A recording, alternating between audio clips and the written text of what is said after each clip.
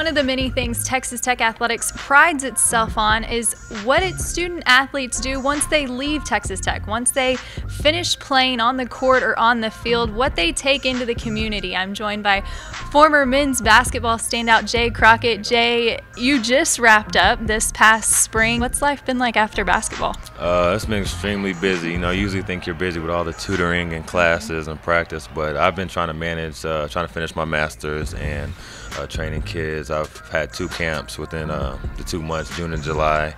Um, been training for basketball, trying to uh, continue my pro career. So it's just it's been pretty busy, pretty hectic.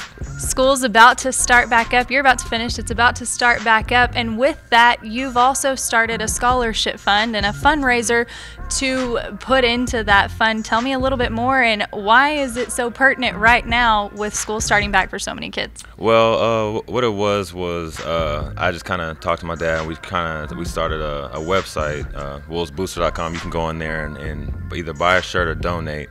And we're just trying to give back to the kids. We're giving them backpacks, school supplies, and uh, taking them shopping. We'll go to a, a, store. I'll go with them and, and shop with them before I, I leave to go play.